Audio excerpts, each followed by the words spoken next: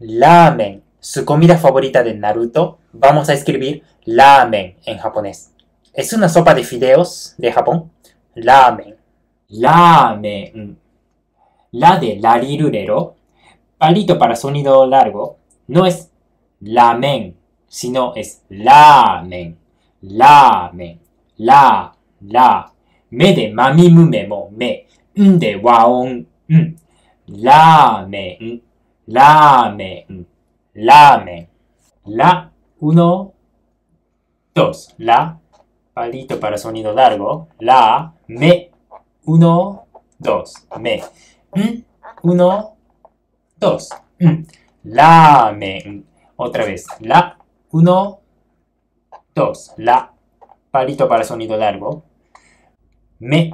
Uno. Dos. Me. En. Uno. Dos. En. Ramen. Ramen. Arigato, si te gustó el video por favor dale like y no te olvides de suscribirte a mi canal. Nos vemos en los próximos videos también. Vamos a seguir practicando juntos. Arigato, nos vemos. Ya ne. Arigato.